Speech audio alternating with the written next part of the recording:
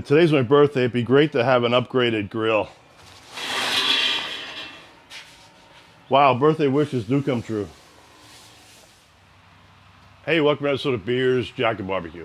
I'm Craig, man behind the camera's Jack. Hope you liked the beginning that you saw there. A little preview. And yes, this is the SNS kettle. So we kind of made a deal with them, had them send a kettle to us. We're going to show it off. Um, but honestly, I'm a huge fan of all their products because right in here is the bronze package, which is the Slow and Sear Deluxe, and the Drip and Griddle Pan Deluxe too, which has a roasting rack on it as well. Um, as you saw before, we've had a, a, previous kettle. I'm replacing that kettle with this new grill just because of all the upgrades and all the improvements that they always make on their products that just make the grilling experience a little bit better.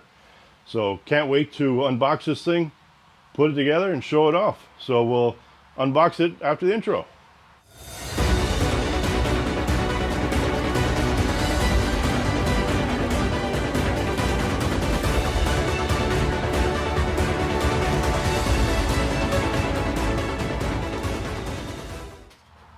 Now for the masterpiece.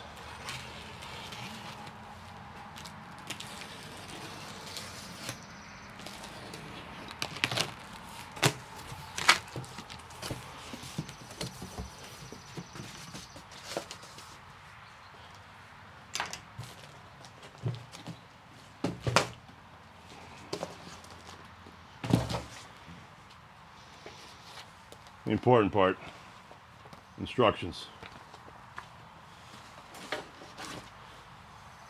a nice heavy duty grate, that's for sure.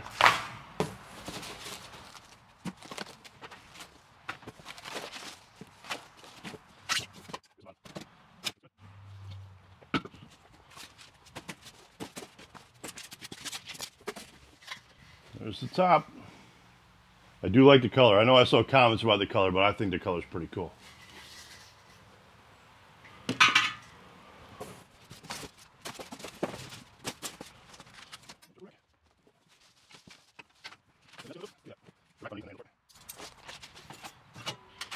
All right, that's everything. Packaged nicely. Looked like everything came out fine. No issues whatsoever with the unpacking. So uh, I'm actually going to take a peek at the instructions and we'll bring it right back to put it together. All right, so we're going to put this thing together. So like I said, I mentioned in the beginning, um, the grill was sent to us um, at no cost. Now the, the drip and griddle pan and the slow and sear did not come with it, so I actually purchased them myself. Um, in my other kettle, I actually have the drip, uh, the uh, slow and sear deluxe as well. Um, and I had a drip and griddle pan, but I don't have the roasting rack um, because it wasn't available at the time I got that. The, as, as you know, I'm a big fan of, of Slow and Sear products. When I ordered the kettle before, two plus years ago, this actually showed up before the grill even showed up. So I knew I was getting this right from the start. So uh, going to uh, pass that on to our future son-in-law. He's going to get himself a grill to work with and have a Slow and Sear already in there with the drip and griddle. And I figured since I got a new grill, I'm going new products. So just wanted to show you them quick, let you know explanation, and we'll start putting this thing together. All right, I won't be doing a whole lot of talking as we just go through this, and I'm sure Jack's going to speed things up to make it less painful to watch you watch me try to put this all together for you. So uh, I'll let you know how everything went though um, at the end or as at different parts of this shoot, just to let you know how things are going. So uh, we'll go from there.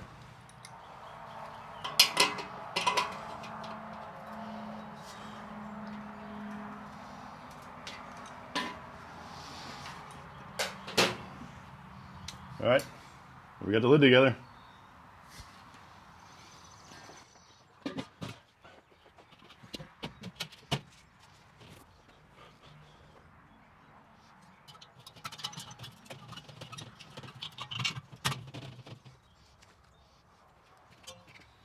All right, so putting the, the, bottom pieces on, put the first piece on, I'm gonna do the legs now. These are nice. I know before when I did a kettle, the legs weren't so easy.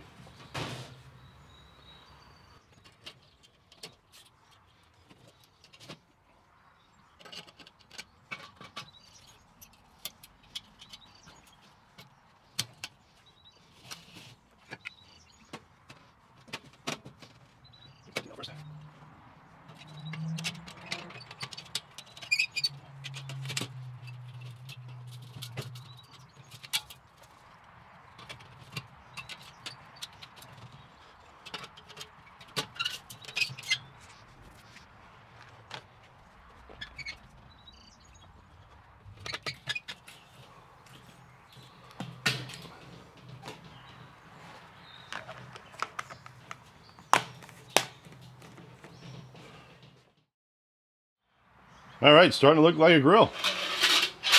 So far, so good. My only thing I would say is there was just a few small parts, but not a big deal. Didn't take too long to do them. Uh, just a matter of looking at the instructions and just doing it right. And that is an issue for me.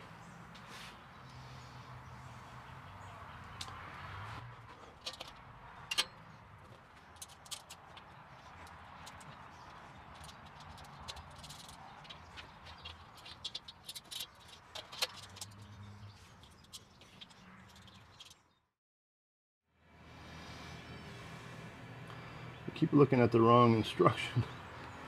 for whatever reason, I'm looking at this blown up circle for something else, and it's not for that.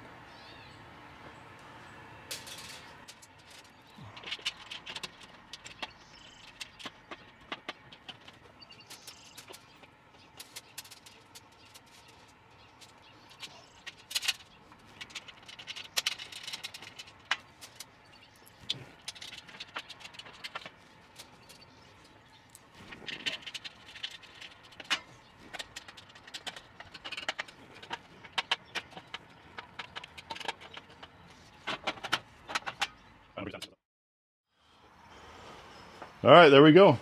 Dilemma. One washer left. Actually, there were two washers stuck together, so I know that one's an extra one. Because I did double check the instructions and we had everything covered. So uh, here it is. Didn't put the insides in yet, but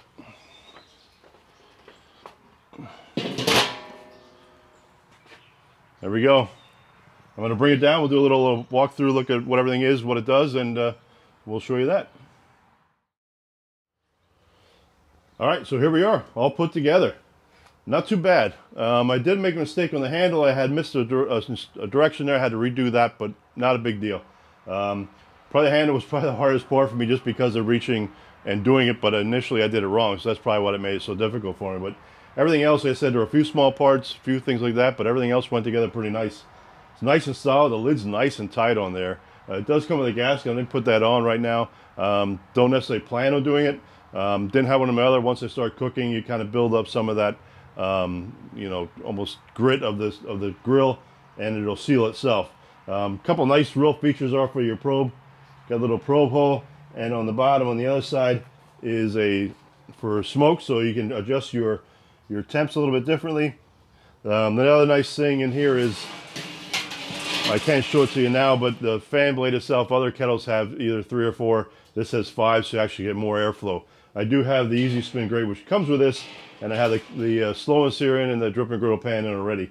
Because um, what I'm going to do next is actually do the first burn-in. Shelf itself works pretty nice and easy. Um, not too much to it. Kind of like the other one.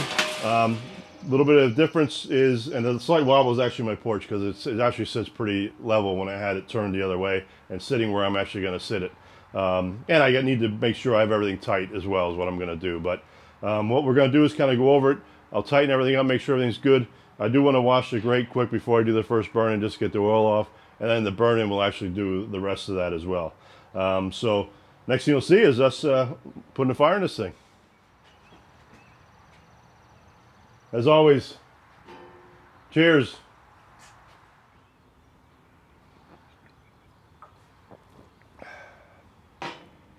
So here we are, grills all together. Got some charcoal in here in the slow and sear. What I usually do on the first burn is actually light a, a, starter kind of in the corner over here, let it just slowly go. I do the vents open wide open in the bottom. I'll have the top vents open too, but until the fire gets going, let it heat everything slowly is kind of what I like to do. Probably doesn't matter in many cases, but I just like to do everything, get some heat going slowly so everything just warms up and then starts getting to temperature. I'm going to add some probably fresh charcoal once everything's lit, and then this is actually old charcoal, I'm just using it up. Um, let it burn out completely and then we're going to do some cooking. So with that, and like I said, everything here was easy putting together and all those things, but you definitely want to subscribe right now. Click the little bell get notifications because we have like four cooks planned in the next week or week and a half that are going to come out.